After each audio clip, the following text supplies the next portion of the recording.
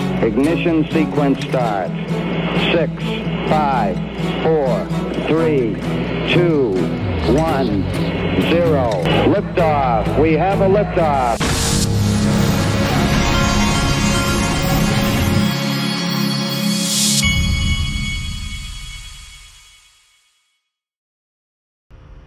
Hey everybody, this is the Digital Asset Investor, and I know what I hold. I want to show you a couple of uh, of uh, interesting videos I saw going around this morning, and I know, folks, I know. Every time the uh, markets uh, slow down or anything, you, you, always see the the negative rhetoric that the negative rhetoric uh, creep in. It happens every single time. I see it all the time but like I like I started this video, I know what I hold. I'm not distracted by all the noise. I am the noise. All right, watch this video. This is good. This is um, this is uh, two. I'm drawing a blank on his name, but he's the guy that does, is uh, involved in uh, James. Uh, um, anyway, I'll think of it in a little bit. He's with Ripple. He's involved in the CBDC uh, stuff. If I can get it to play. Let me hit the old refresh button. I've, there's been some issues with um, videos playing on X here. Is in terms of native cryptos like XRP, Bitcoin, Ethereum, um, you know, they're not all the same, right? They're not all created equal. Um, I think what's becoming much more popular in the industry now is more sustainable technologies. So the XRP ledger and XRP is um, there's no mining or proof, stake of, proof of work or proof of stake involved. So the, the, the computational cost of uh, you know, validating transactions is almost zero, right? Very, very low cost and very stable in terms of, in terms of pricing.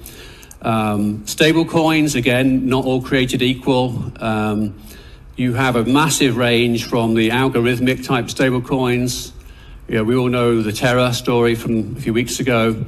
Uh, and then now what we're seeing emerging is um, you know stablecoins being issued by regulated entities. So I can't give you the names yet, but there's two projects we're working on, one in the UK and one in the US, working with banks that are regulated um, who will be issuing stablecoins and the reserves um, will likely to be held at a central bank in a central bank account. So very different from the algorithmic uh, stablecoin you know, we as Ripple work across all of these technologies. And then, of course, got central bank digital currencies, which uh, essentially is the, um, the highest form of digital currency, right? Issued by the central bank, backed by the central bank, the most secure form.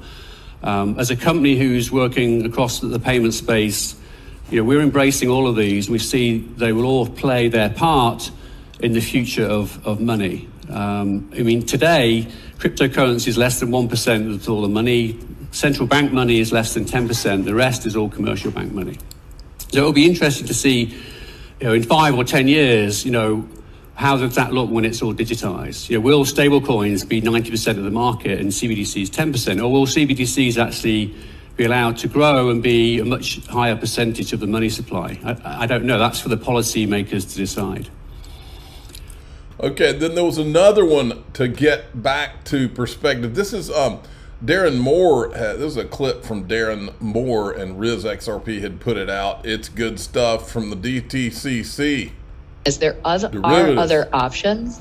And come on now.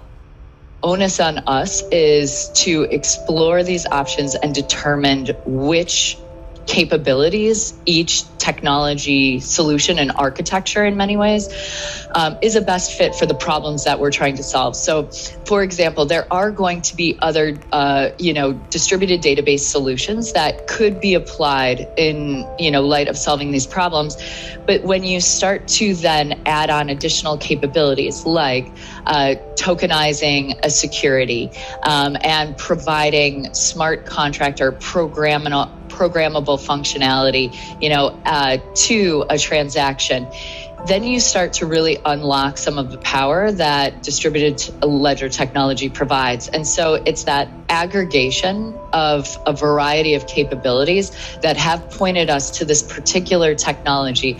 But I do think that it's important to pull out, um, you know, the point that you're making, James, which is that it blockchain is in many areas a solution in search of a problem. And so we've taken a very critical view when we evaluate our use cases to ensure that a blockchain solution that we are applying is a very tightly scoped one for the use case that is not just putting a solution on a chain, but rather understanding what additional capabilities and therefore value that we can unlock by putting a solution on a network or on a chain. DTCC is critical of blockchain for obvious reasons, but for tokenization, programmable money, and micropayments, a variety of use cases, quote, you unlock the power of distributed ledger technology. Quote, a blockchain solution that we are applying is a very tightly scoped use case. So they're applying a blockchain solution. Donald Donahue from DTCC is an advisor for Ripple Labs. Ah. He's a board member. I'm very interested in the capabilities distributed payment technology seem to offer for improving the safety, soundness, and cost effectiveness of global payments and settlement infrastructure, Donahue remarked. Ripple is already a clear leader in the space. I'm looking forward with Ripple Labs team to deliver on these exciting possibilities. Darren Moore gets it. Darren Moore is one of the adults in the room. Check it out. JP Morgan Chase CEO Jamie Dimon warns U.S. economy heading towards the cliff, predicts debt rebellion. Uh oh. That sounds ominous. And then right here, this is about the GPT, GBTC profit taking in the Bitcoin ETF. Listen to this. Top stories. JP Morgan thinks that the worst of the ETF selling pressure on Bitcoin might be over. In a research note on Thursday, the investment bank said that investors taking profits from the conversion of the Grayscale Bitcoin Trust has likely been a driver of Bitcoin's recent correction. JPM estimated that of the $4.3 billion that's exited GBTC, about $3 billion can be linked to profit taking. Now, the other 1.3 billion potentially investors moving into cheaper ETFs. The bank thinks that with most of the profit taking out of the way, that grayscale driven pressure on Bitcoin will ease. Also, as for which cheaper ETFs investors could be moving to, JP Morgan sees two competitors to grayscale emerging BlackRock and Fidelity. Both have much lower fees. Next, regulators in. Uh oh.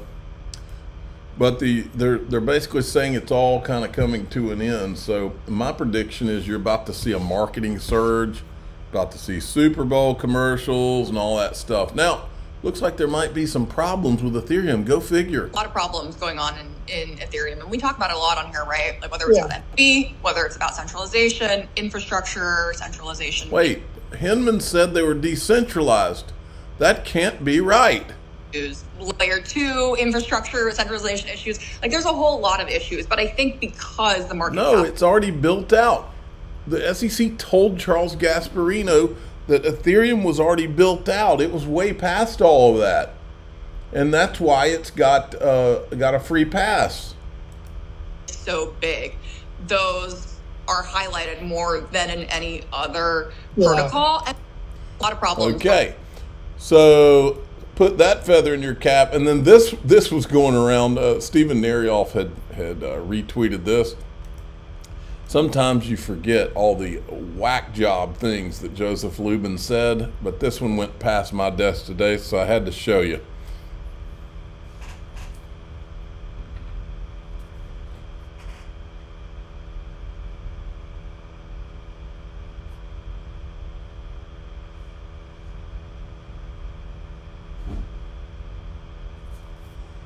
Um, and on top of this financial plumbing layer, um, which is incredibly exciting, it, it's basically um, removing the priests uh, from uh, intermediating our access to the monetary gods or the financial gods. What? Um, because everybody's going to be able to use their own magic internet money Legos or build their own magic internet money Legos or fork some and connect them to others. And and so it, it really opens up the system and lays it bare uh, for us to uh, build what we want, build our own bank or, or lender or whatever.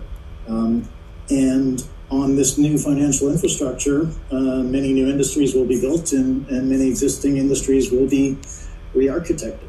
Um, so we'll see lots of collaboration networks um, tokenized um, with their own embedded tokenized governance. Um, I think all of this is going to lead to much more granular governance uh, in the world. Um, so uh, essentially, we're in a world where we have these governments that uh, make decisions, um, two party governments or one party governments, and they make decisions for all the people and they don't serve most of, most of the people very well. A narrow set of interests uh, essentially um, follows their own needs. And um,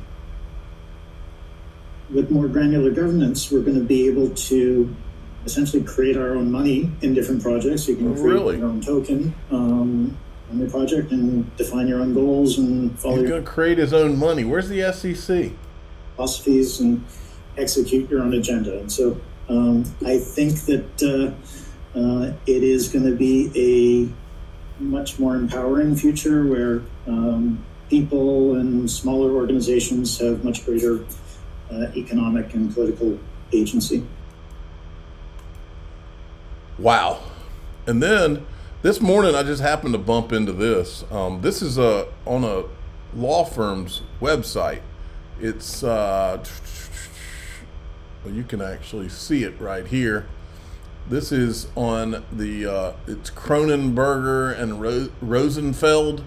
Joel Dietz MetaMask litigation on August 1st, 2023. Joel Dietz sued ConsenSys, Aaron Davis, Joe Lubin, and Dan Finlay, alleging that Dietz was an original founder of the project that was renamed MetaMask and that the defendants acted together to deny Dietz his ownership stake and the associated profits. We are interested in speaking with people who have knowledge of the allegations in the complaint, including any journalists who have been threatened as described in the complaint.